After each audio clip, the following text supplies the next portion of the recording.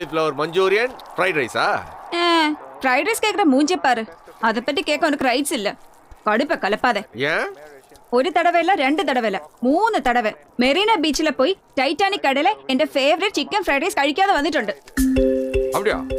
எப்போ ம் பீச்சுக்கு போய் ஃப்ரைட் ரைஸ் வேணும்னு പറഞ്ഞാ மதி பேட்டப்படத்துக்கு ரஜினி வந்திருக்காரு விஸ்வாசத்துக்கு அஜித் வந்திருக்காரு இவர் இல்லைன்னா அவங்க